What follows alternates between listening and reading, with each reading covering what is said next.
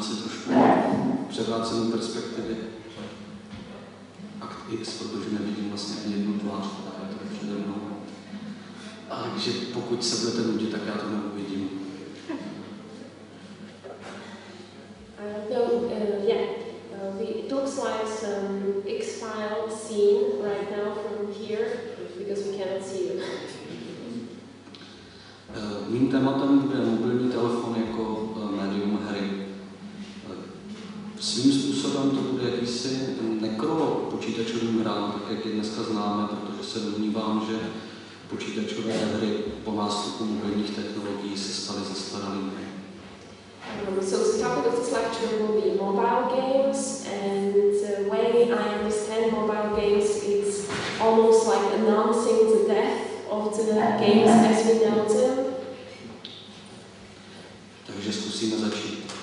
Uh, úplně na začátku poděkovat Denise, že mě pozval na konferenci a že mi umožnila se velmi prodiskutovat aspekty mobilních telefonů jako určitého nového média, které má své vlastní zákonitosti. Podotýkám, že mi v první řadě půjde o médium mobilního telefonu.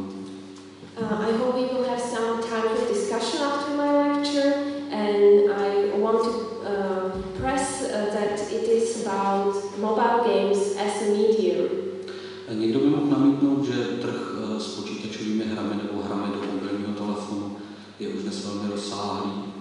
Já se však domnívám, že to, co dnes zažíváme, je na úrovni prvních portací hry tic-tac-toe a šachu pro staré počítače před 50 lety.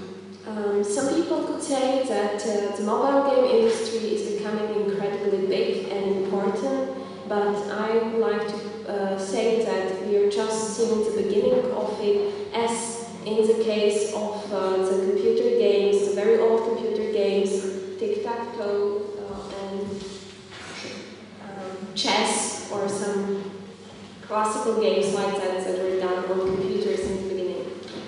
Přesto bychom měli na mobilním telefonu věnovat velkou pozornost, protože podle mnoha teoretiků představují jednu ze dvou možných cest, kdy se digitální média v nejbližší době vydají.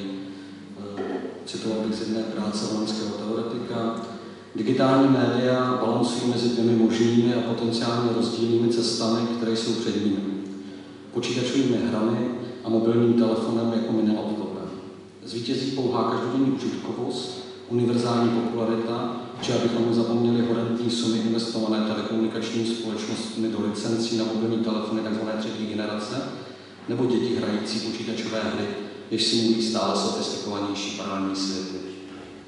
Um, we have to speak about uh, mobile phones because it present, presents one of these two important um, development of the digital technologies as such. And here is a quote that I will try to translate that digital media uh, balance between two possibilities and potentially different uh, ways or perspectives. Uh, one of them is computer games and another are mobile phones or mini laptops we can call them. Um, who will uh, who will win? The um, what is the universal popularity uh, or or the incredible sums of money invested in the by the telecommunication companies into licenses for mobile phones of the third uh, generation, or the children that play computer games that simulate uh, even more and more sophisticated parallel worlds. V tomto citátu slyšíme určité opovržení vůči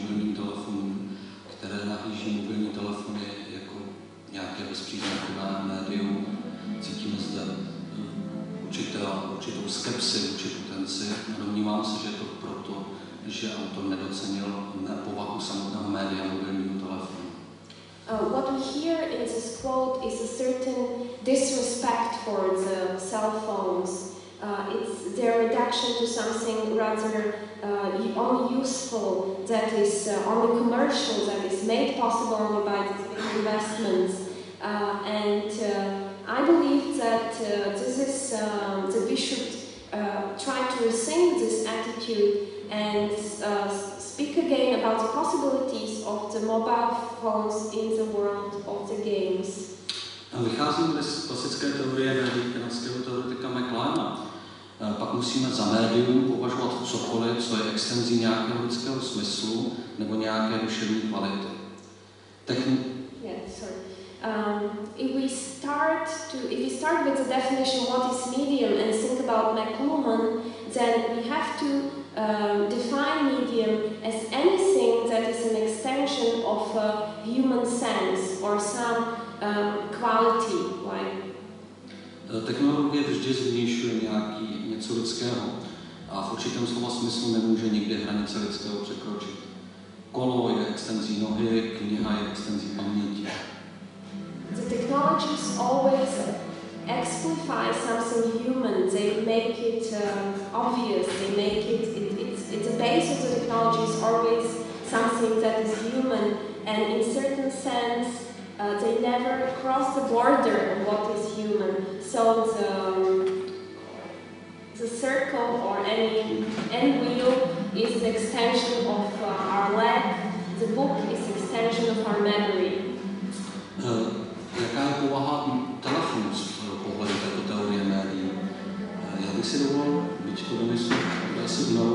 jeden citát, který.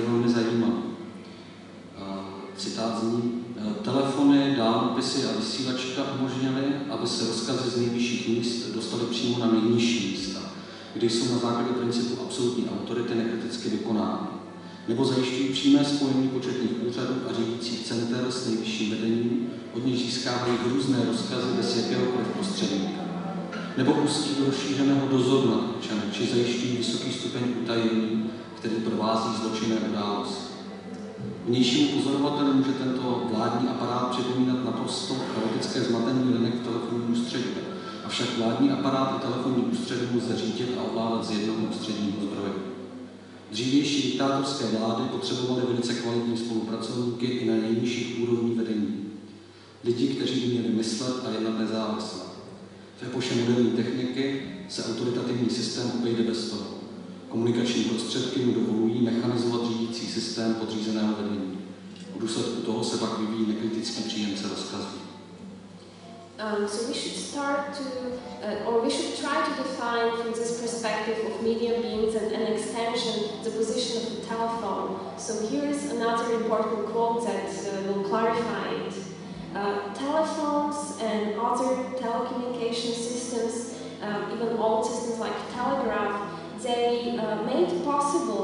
the orders from the highest position where uh, they came to the positions, lower positions, where they were, um, where they were, they made them uh, true, made them happen because um, the absolute authority of the higher position. So I will try to make it short. It's about the importance of hierarchy and certain type of telecommunication systems. Uh, they also, these telephones and telegraphs and similar type of media, they uh, uh, exemplify the hierarchical structure of the 19th and 20th century. I hope this is what the quote says. And uh, it's, it's very in, into details how the dictatorships and all these different types of uh, hierarchy worked and how they're connected to, to, tele, to the telephone.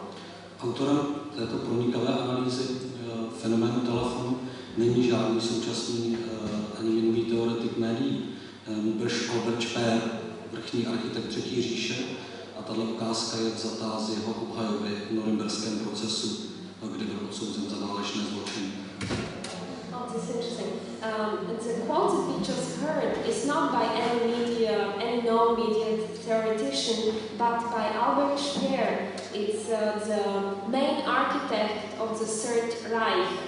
And this quote um, that um, summarizes the um, uh, main uh, aspects of telephone media, how they know them, he used this as an um, excuse or as an as um, when he was trying the Nuremberg uh, process to explain his position and what happened to him.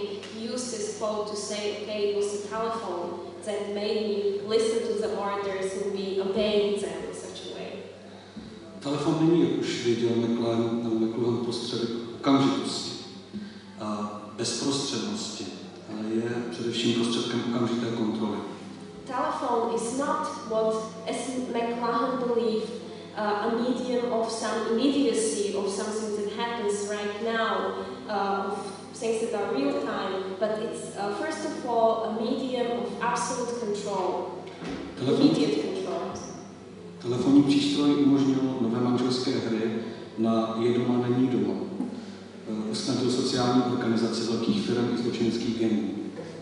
Telephone machine made possible a certain type of family games uh, or man-woman games of is he at home, is, is she not at home. It also uh, made possible different social organization of big corporations or criminal gangs. Ostatně ne nadarmo se v 30. letech stal filmovým symbolem továrníků, kteří přiměli prvním inovacím. Um, it's, um, it's not by chance that it's in the movies from the 30s it became a symbol of someone who owns a factory, a symbol of status. Eh, Vzpomeňme si na pověstnou kancelář Tomáše Bati. To byl výtah vybavený telefonem. Tomáš Baťa v něm jezdil podle legendy, nevím, je to pravda, nahoru a dolů ve své fabrice a vytvořil tak vlastně první hybridního předchůdce mobilního telefonu. Czech um, owners of uh, big factories in the, in the beginning of the, in the mid 19th, uh, 20th century was Tomasz Baťa, and he had his office in the elevator. Uh, with, there was even a telephone in his elevator. He had where he had the office. It was an office and an elevator at the same time. Eh, Telefon samotný je tak pravděpodobně extenzí samotné lidské existence, minimálně ve své gramatice, která zní teď a tady. So the telephone is a, uh, its character is um, the same as the human existence. It's an extension of the human existence. Um, it it um, it has the same grammar of here and now that we bear as human existence. Eh, Jeho schopnost spojit dvě místa v jeden okamžik pomáhala ze světa mapu a proměnit svět eh, v systém sítí a vektorů vyznačených eh, telekomunikačními dráty. Because of uh, telephones, uh, the world, the maps of the world became less important. They almost disappeared when it was possible to connect two places. Kupotil však mobilní telefon opět k mapu, mapu přivedl k životu, tím, že zavedl nové technologie lokací a systémy, které nás navádějí v prostoru, vlastně oživil médium mapy, které mělo být již dávno mrtvé. So while the normal phone created this metaphor of networks, metaphor of connecting two places through networks, the cell phone actually brings back the idea of a map because of the GPS systems and some other technologies connected related to maps.